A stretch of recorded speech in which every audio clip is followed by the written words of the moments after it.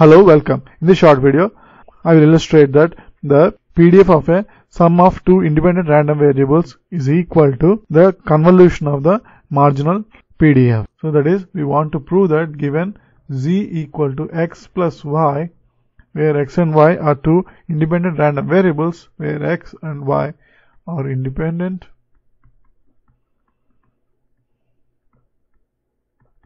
random variables, we want to prove that the PDF of z is equal to PDF of x convolved with PDF of y.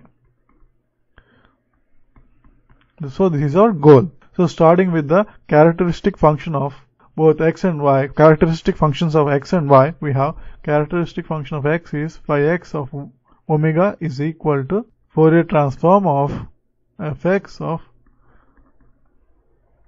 x which is basically equal to expectation of e power j omega x.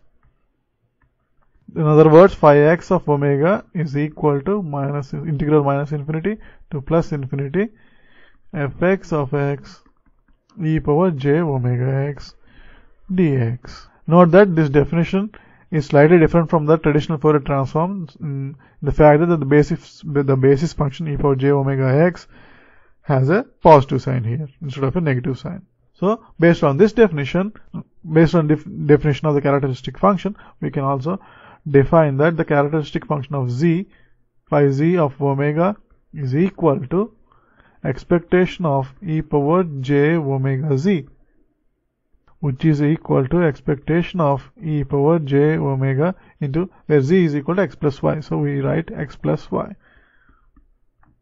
and since x and y are independent of each other so the expectations of their functions is also uh, the expectation of the product of these functions that is expectation of e power j omega x into e power j omega y should be equal to the product of expectations since x and y are independent of each other.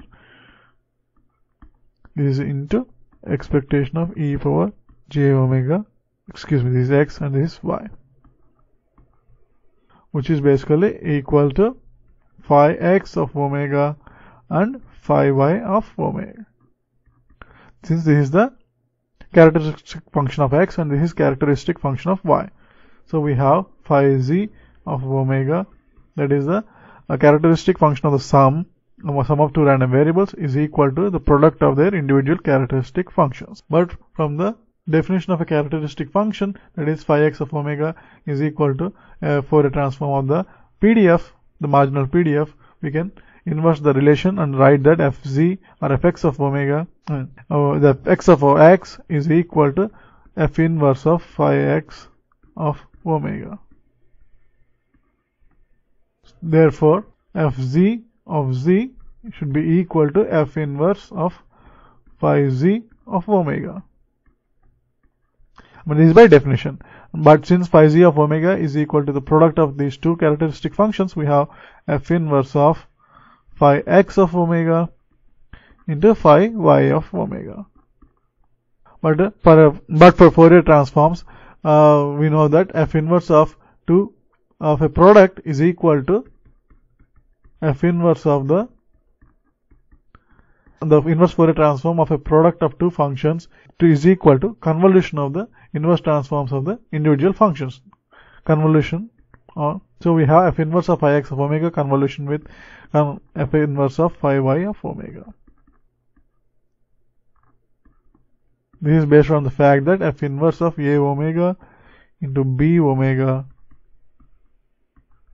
is equal to a of x convolved with b of x where a of x is the inverse transform of a of, omega, and b of x is the inverse transform of b of omega. So by using this property of Fourier transforms, we have this result. So which is basically equal to fx of x convolved with fy of y. And this is based on the original definition of characteristic functions. So we have the the PDF of the sum of two random variables uh, is equal to the convolution of PDF of the individual random variables x and y when x and y are independent of each other. Thanks for watching.